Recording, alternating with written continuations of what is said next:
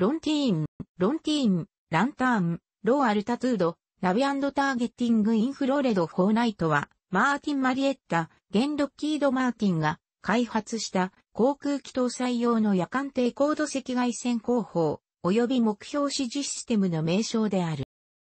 このシステムは、 AN/AAQ-13 航法ポッドと AN/AAQ-14 照準ポッドの1対の機材で構成されているが、湾岸戦争当時の F-16 のように、航法ポッドのみ、搭載や F-14 のように、アン、奥 -14 や発展型のノック -25 等標準ポットのみの搭載による運用も可能である。1990年代中盤には A-10 や B-1B による運用も検討されていたが、この時のは予算の問題で放棄されている。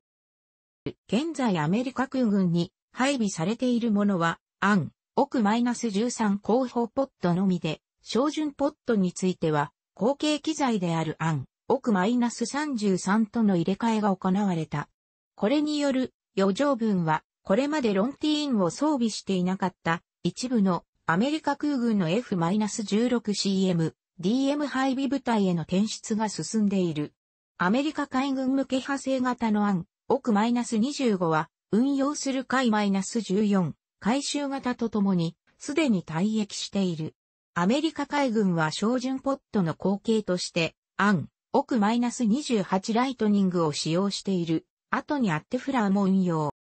1980年に、海 -15E と海 -16 に精密攻撃能力を与えるポットを開発するため、アメリカ国防総省とマーティン・マリエッタとの間で開発契約が結ばれ、1983年2月には、アン、奥 -13 広報ポット、同年7月には、アン、奥 -14 標準ポットの隠し作品がアメリカ空軍に納入され、1985年には生産契約が結ばれている。しかし、アン、奥 -14 の開発、生産が遅れから量産型の納入は1984年11月まで引き延ばされ、1987年4月にようやく納入が行われ、1989年9月に初期作戦能力を獲得している。しかし、初期作戦能力の獲得が湾岸戦争の直前だったこともあり、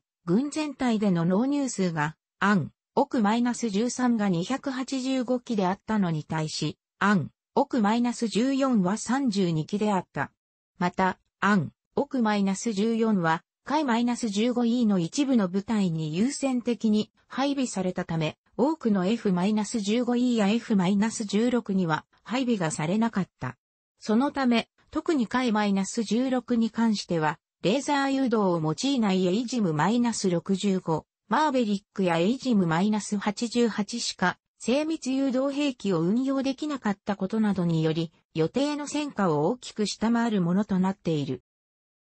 アン奥 -13 は、ロンティーンシステムの後方ポット、KU バンドのと前方監視用の赤外線センサ、フリアを内蔵している。この機材に内蔵された地形追従レーダーは、搭載する機体の自動操縦システムと連動させることにより、地表もしくは建造物などの障害物から約30メートル以上の高度で事前に設定したコースに沿って飛行することが可能である。また、夜間でのパイロットによる操縦で低空飛行を行う場合、赤外線センサによって捉えられた地形の映像は CRT 表示装置に表示されるが、波動に投影することも可能であり、映像に重ねる形で、フライトボックスと呼ばれる飛行可能なコースを表示し、この枠の中心をトレースさせる形で航空機を飛行させることにより地形障害を避ける形での低空飛行が可能である。標準ポッド1、奥 -14 に後継機が登場した後も、後方ポッドとしては本ポッドが現役であり続けており、アン、奥 -13、アン、奥 -33 やアン、奥 -13、アン、奥 -28 といった組み合わせで使用されていい。アン、奥 -20 は輸出型でパスファインダーの愛称で呼ばれており、低空飛行で地上障害物を避けるための地形追従レーダーが削除されたダウングレード型。アン、奥 -14 は、ロンティーンシステムので、前方監視用の赤外線センサ、フリアとマーキング用のレーザー発信機で構成されている。同様の機材は、ベトナム戦争当時にはヤン、アスック -153 ペーブスパイク、アン、アベック -26 ペーブタックなどが存在したが、大型であったり、2機以上の変態でなければ運用できない機体搭載位置の関係で、左方向への大きな旋回を行わなければ、命中までレーザーの照射ができないなどといった運用上の問題が存在していたが、本機ではシステムの小型化や誘導用レーザーの照射範囲の拡大によってこれらの問題を解決している。アン、奥 -19 は輸出型で、シャープシューターの愛称で呼ばれておりエイジム -65、マーベリックの運用能力といくつかの空対空機能が削除されている。近年では搭載するフリアが解像度不足であることなどから、アメリカ空軍では2005年より、アン、奥 -33 スナイパー先進標準ポットへの換装が進められている。また、アメリカ海軍では、アン、奥 -28 ライトニングの改良系を後継機種に選定した。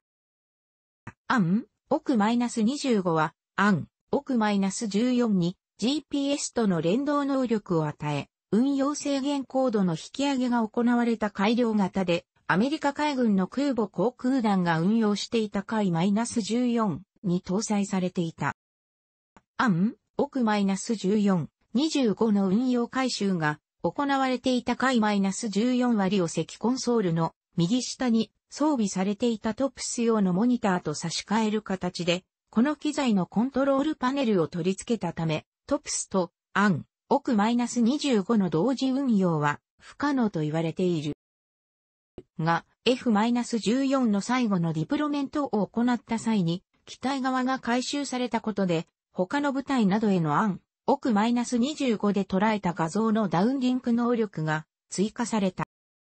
ロンティーンの発展型。搭載、フリアを第1世代から第3世代に換装し、解像度を向上、アン、奥 -19、または、アン、奥 -33 のパイロン部には、アン、オス -42 を追加装備している。そのためパイロンは関連機器の搭載により太くなっている。大韓民国空軍の F-15K やシンガポール空軍の F-15SG で運用されている。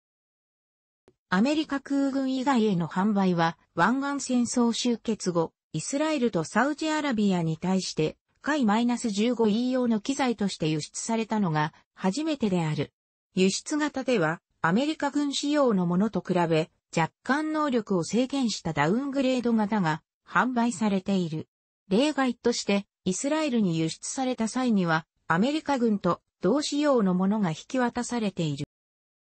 楽しくご覧になりましたら購読と良いです。クリックしてください。